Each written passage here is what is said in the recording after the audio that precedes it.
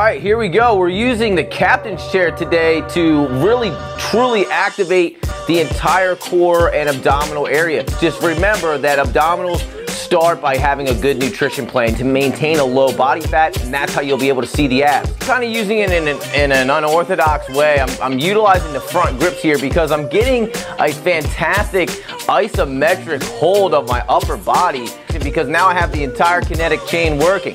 You can't just arbitrarily just go through the motions here. You need to fight for every single rep. When you think of yourself going and working out, whether you're at home or at the gym, you need to battle a war. It is a mental war with yourself. You're telling yourself to quit the entire time. You can't let yourself give up. It's all about how long can you withstand the war, and then you'll be able to get past it. You have the euphoric feeling of success and 1% better every single time you go and keep raising the bar.